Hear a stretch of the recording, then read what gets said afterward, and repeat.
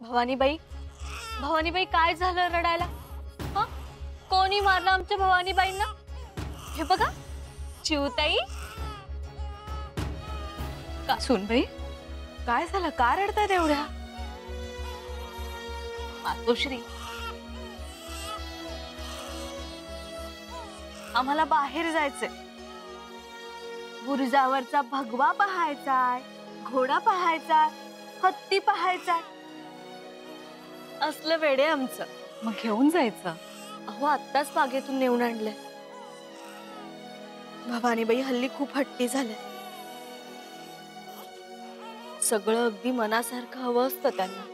सुनबाई तुम्ही भवानीबाईंबद्दल बोलताय की शंभूराजांबद्दल? युवराजांवरच गेल्यात त्या. बघा थांबतायत का रडायच्या? भवानीबाई एखादी गोष्ट सांगा त्यांना. राजपुत्राची गोष्ट सांगा.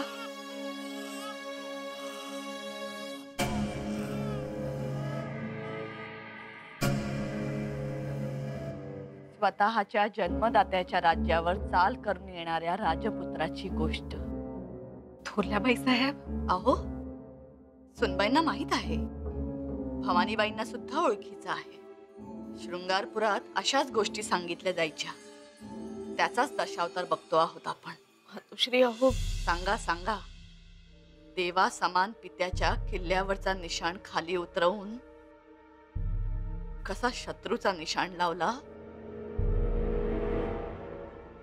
ते सांगा. छान गोष्ट आहे. सांगा हा.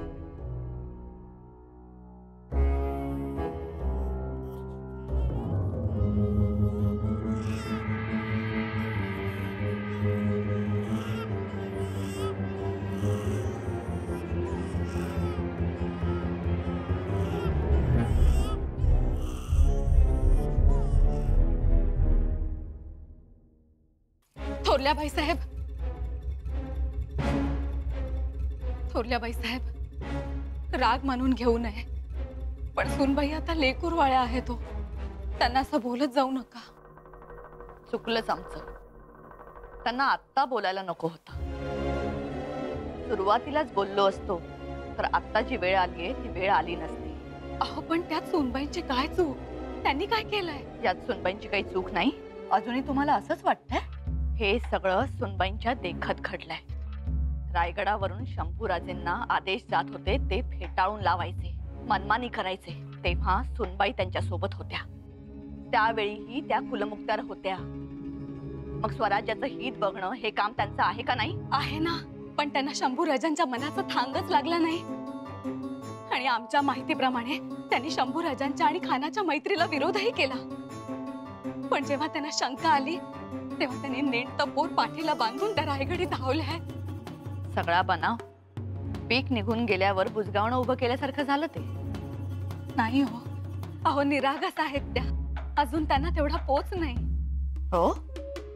प्रसंगी आमच्या नजरेला नज़र भिडवून बरं बोलता येतं त्यांना. म्हणे, आमच्या नवऱ्याची काळजी घेणं आमचं कर्तव्य आहे. बहादूर गडावरून संदेश येतात, जातात. बोकडाची शिंग काय अजगर काय? असं कोड्यात बोलण्याचं चातुर्य बरं येतं. मग हेच चातुर्य हीच हिंमत स्वराज्य हितासाठी वापरता येत नाही? करतात होत्या आम्हाला तसं नाही वाटत. आमचा ठाम विश्वास आहे. शंभूराजेंना सुनबाईंचा पाठिंबा आहे. अहो आम्ही इथून गोंधळी पाठवायला मज्जाव केला होता. तर शृंगारपुराहून गोंधळी पाठवावे? मग आता तुम्हीच सांगा. सुनबाई शंभूराजेंची ढाल बनतात आणि शंभूराजे दिलेर खानची ढाल बनतात. थोरल्या बाई साहेब अहो तसं काही नसेल हो. अहो तसं नसतं.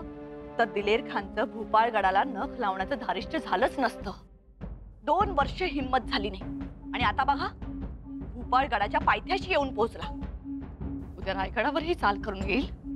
असं म्हणणं म्हणजे सुतावरून स्वर्ग गाठल्यासारखं होईल हो. तीच परिस्थिती निर्माण झालीये धाकट्या बाई साहेब नाहीतर एवढे मोठे पराक्रमी फिरंगोजी. पण त्यांचेही हात बांधल्यासारखे झाले. कोणामुळे?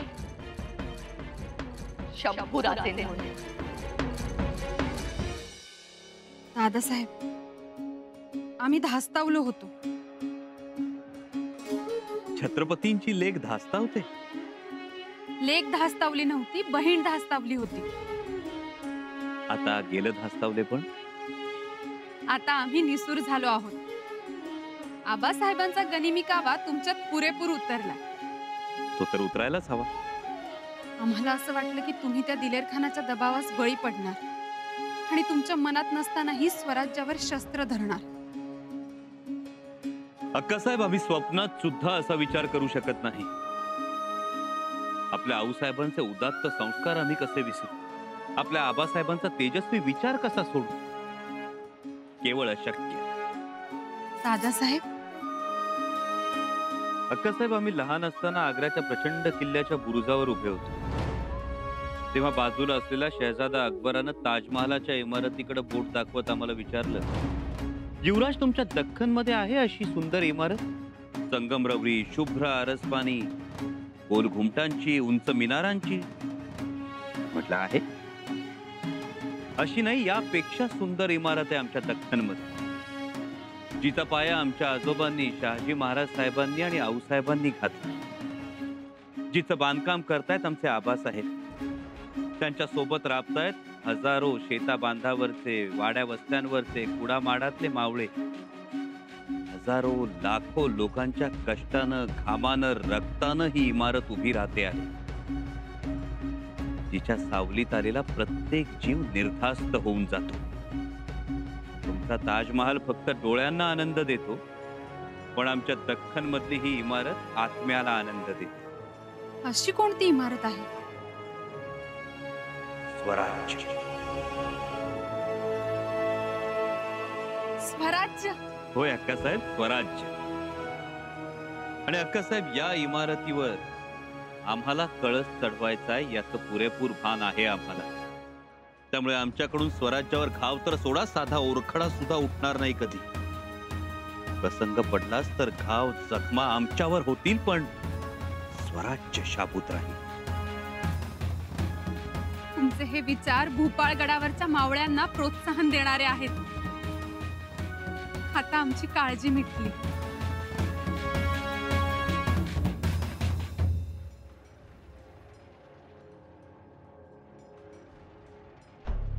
गनिम हळूहळू पुढे सरकतोय.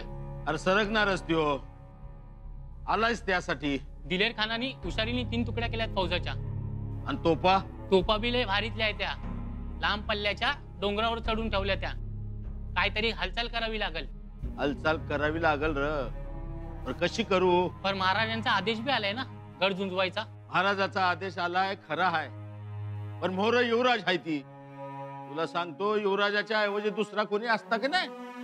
तर आता पातूर त्याला पळता भुई थोडी करून टाकली असती म्या. पण त्या दिलेर खानानं डाव साधणार धाकल्या धान्याला ढाल म्हणून मोहर केलं. बाबा. बाबा आपलं युवराज. काय झालं? आपल्या युवराजाने आपली लाज राखली बघा. म्हणजे स्वराज्याच्या विरोधात हत्यार उचलायला युवराज नाही म्हणाला. माझ्या वागा हा. काळूजी अरे हिरा तो हिराच असत या. अरे महाराजाचा रगात हाय. आपल्याच माणसावर कसं उलट ए बघतोस काय? समजासने तयार राहायला सांग. हाना मारा दगड गोट्याचा वर्षाव करा एकेकाची टकुरी फोडून काढा. हा आणि तटाला भिडलाच तर वरना उकाळतं त्याल वाटायला सांग. समद्या मावळाला तयार राहायला सांग. हर हर! महादेव! हर हर!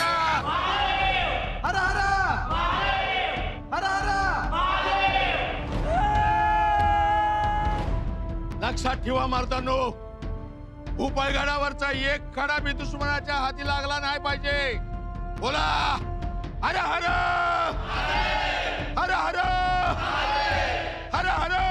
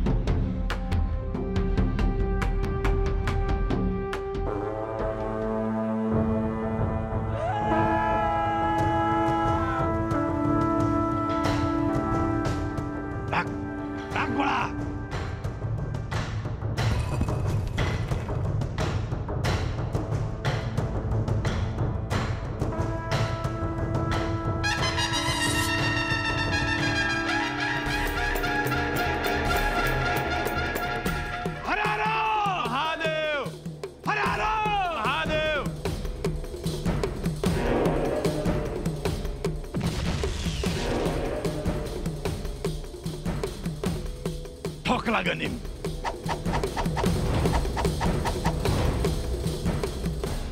टाक गोळा हे आई भवानीचं नाव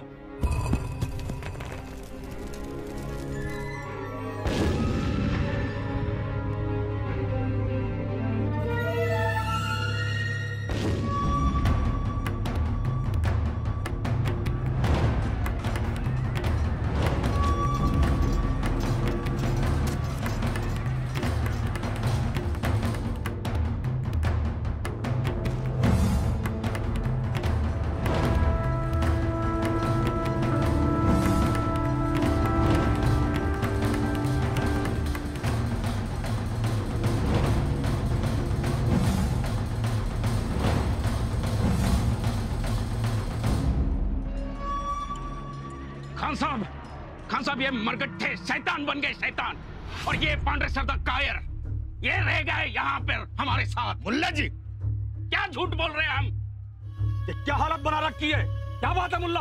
हुजूर क्या कहूँ? ये पांडे सरदार खुद तो खुद तो पीछे रहता हमें भेज देता आगे। हुजूर झूठ बोलतोय हा मुल्ला। मुल्ला अहमद कहो हमें। अरे तेच ते मुल्ला अहमद म्हणे पांडरे मुल्ला लड़ाई यहाँ नहीं वहाँ करनी है। बात क्या है मुल्ला? हुजूर ये मरगट्टे अब शैतान बन गए। जान की बाजी लगा कर लड़ रहे। हुजूर किल्ला जिंकणं लय अवघड आहे असं वाटतं खामोश। क्या बकवास करते हो पांडरे। किला जीतना आसान नहीं तो आसान बना दो। और मुल्ला ये कामयाबी हमें हर कीमत पर हासिल करनी है। चाहे कुछ भी हो जाए जितनी चाहे ताकत लगा दो। इसके लिए किले को चारों तरफ़ से घेर के रखा है। किले पर जाने वाले सारे रास्ते पर हम पहरा दे चुके हैं। देखते हैं ये मरगट्ठे कितने दिन तक लड़ते हैं। मुल्ला अहमद किला घेरने से रास्ते रोकने से ये मराठे हार नहीं मानते। इन्हें कमज़ोर मत समझना ये इरादे के पक्के हैं। ये सिर्फ़ शिवाजी राजे की नसीहत पर चलने वाले लोग हैं। ना ये हमसे डरते हैं और ना ही अपनी मौत से डरते हैं। ऐसे होते हैं मरगट्ठे। देखो मुल्ला अहमद तुम पांडे सरदार को मत देखना। ऐसे मराठे किले में मिलेंगे तुम्हें। और फिर पांडे सरदार अब मराठा कहाँ है? ये तो पक्का और सच्चा मुसलमान हो गया है। हुजूर आप फ़िक्र मत कीजिए। कामयाबी हमारी होगी। अल्लाह कामयाबी होगी कामयाबी हुई ये अलग बात है। हम कई बार जीतते जीतते मराठों से हरे हैं। शिवाजी राजे ने मिर्ज़ा राजे का यही हश्र किया था। आदिल शाही से लड़ते वक्त चौदह हज़ार चौदह हज़ार सिपाही मरे थे हमारे।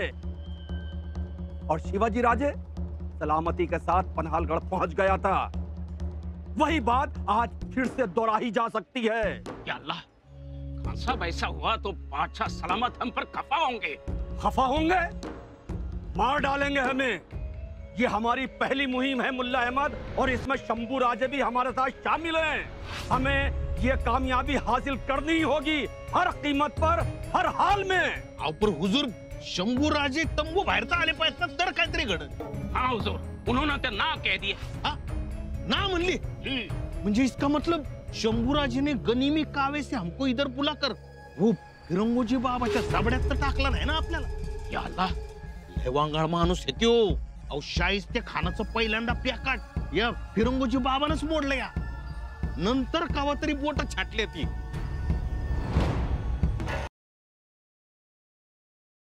महाराज शेवटी व्हायचं तेच झालं.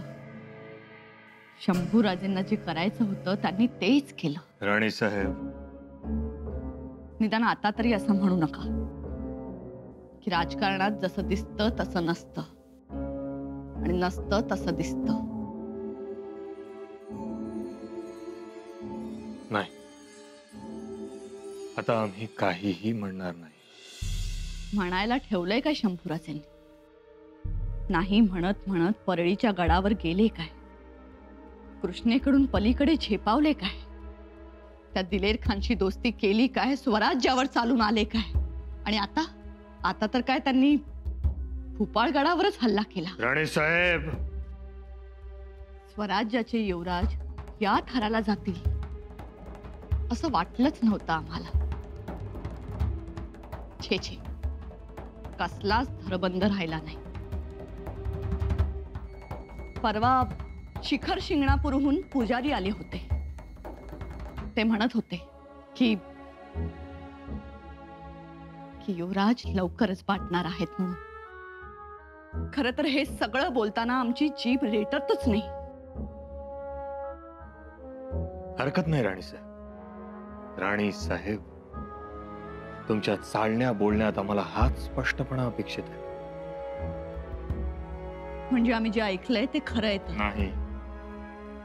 पण आता लोक मात्र बोलणार. हजार तऱ्हेचे बोल बोलणार. कारण लोकांना फक्त बोलायला विषय हवा असतो. खरं खोटं काय? हे ठाऊक हल्ला केला हे खरं. महाराज त्यांना युवराज पदावर ठेवू नये. नाहीतर स्वराज्य हिताच्या आड येत राहील.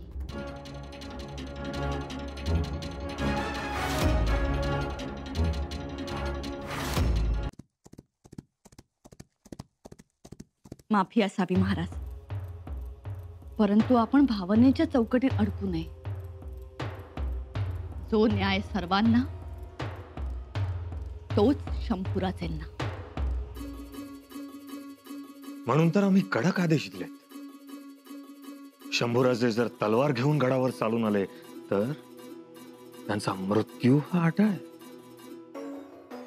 आणि मग तुमचं हे युवराज पद आपोआपच रिक्त होईल.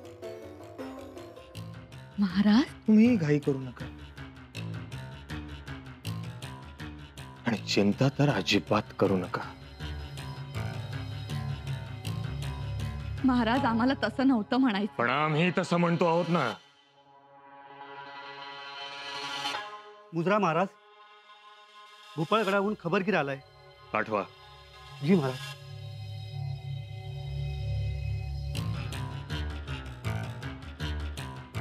महाराज आपल्या आदेशाप्रमाणे भोपाळगड लढतोय. फिरंगोजी बाबाच्या माऱ्यापुढे मोगली फौज काही टिकत नाही. आणि महत्वाचं म्हणजे शंभूराजांनी स्वराज्यावर हत्यार धरायला नकार दिलाय.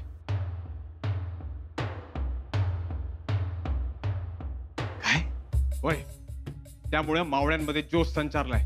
हर हर महादेवाच्या गर्जनेनं आसमंत तणानून सोडलाय. आणि फिरंगोजी बाबांना बी मोठा जोश आलाय. आमचा गड लढणार. आमचे मावळे लढणार आम्हाला ठाऊक होतं. पण शंभूराजे शंभूराजे छावणीत आहेत आघाडीवर फिरकले सुधिक नाहीत.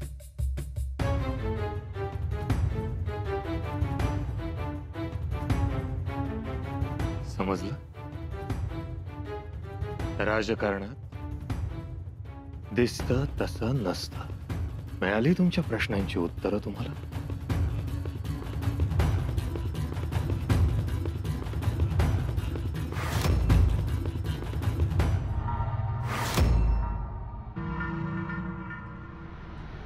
मुल्ला अहमद कुछ भी हो जाए ये जंग हमें हर हाल में जीतनी है। बिल्कुल बिल्कुल हुजूर लेकिन मैं मानता हूँ कि हालात बहुत खराब हैं। हमारी फौज के हौसले पस्त हो रहे हैं। फिर भी हमें ये जंग हर कीमत पे हर हाल में जीतनी है। बस। यासाठी एकच रास्ता आहे हुजूर। शंभूराजासनी फिरंगोजेच्या मोर उभं करा। पांढरे सरदार इससे क्या होगा? अहो युवराज आहेत ते स्वराज्याचे। तलवार टाकून मुजरा ठोकत्याल खेन समधी मावळ. तुम ठीक कहते हो पांडरे वही होगा. शंभू राजे खुद मोर्चे जाएँगे और ज़रूर जाएँगे. और ये जंग क्या है? वो तो हमारे लिए स्वराज्य का ढाल है. और देखना शंभू राजे ढाल बनकर इस मैदान के जंग में हमारे लिए उतरेंगे. लेकिन हुजूर कब और कैसे? ये सब दिलेर खान का कमाल है मुल्ला अहमद. माफ़ी चाहता हूँ हुजूर। हमें यकीन नहीं होता। यकीन तो तुम्हें उस वक्त भी नहीं था मुल्ला अहमद जब शंभू राज्य स्वराज्य छोड़कर अपना परिवार छोड़कर हमसे आ मिले थे। मिले थे ना? आना आधी गळ्याला भाला लावायची पण आता आता गळ्यात गळा घालते लेकिन हुजूर एक बार शंभू राजे ने ना कह दी तो वो ना ही होती है। मुल्ला अहमद हमारी चाल से मजबूर होकर शंभू राजे खुद शमशीर लेकर हमारे सामने आएँगे। और जंग में जाने की हमसे इजाज़त मांगेंगे। असं जर झालं तर मग समजा मराठी मुलुकच येडा होईल. हमसे मिलने तो दो पांडे सरदार। शिवाजी का छावा मुगल फौज में स्वराज्य के खिलाफ दहाड़ेगा तलवार उठाएगा और फिर मराठों को चीर के रख देगा।